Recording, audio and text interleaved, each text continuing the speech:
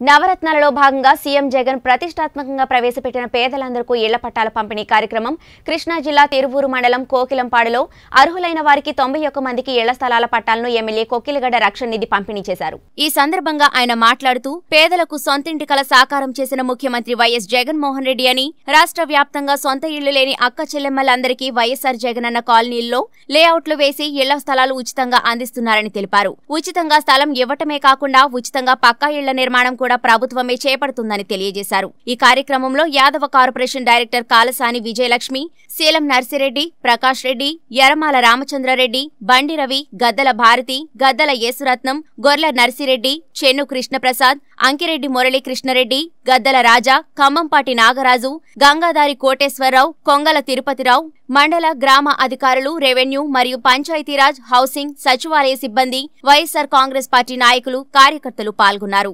రెడ్డి గారు చెప్పాడు ఒక ఇల్లు కూడా ఒక లక్ష అధికారం అవ్వాలని చెప్పి ఆ రోజు ఆయన అనడం చేశారు. అదే ఆయన కుమారుడు మరి అదే బాటలు నడుస్తూ ఆయన ఒకటి నడిస్తే రెండు కూడా ఆయన చేసి ఈనాడు ప్రపంచ దేశాల్లో కూడా మంచి పేరు ప్రఖ్యాతి కలిగినటువంటి యువ ముఖ్యమంత్రి గారు.